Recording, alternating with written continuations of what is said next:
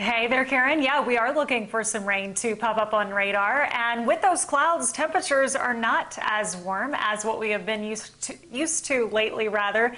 So uh, that's another nice change. We take a look from Dallas, really seeing those clouds become quite thick after we did get some sunshine pretty early this morning. Look at these numbers. These numbers are actually close to where we've started a lot of our mornings over the past several weeks. 83 Dallas, 82 in Fort Worth. So we have not warmed much from our morning's mid 70s. You can see really on our satellite and radar the heavy cloud cover pouring in from the southeast, which is exactly where we're going to watch for the initial showers and storms to get going.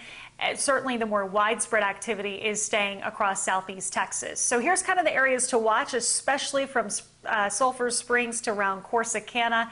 Scattered storms with some brief heavy downpours. Isolated activity in the Metroplex. We'll be watching mainly as we move on to this afternoon. Karen? All right, Annalise, thank you.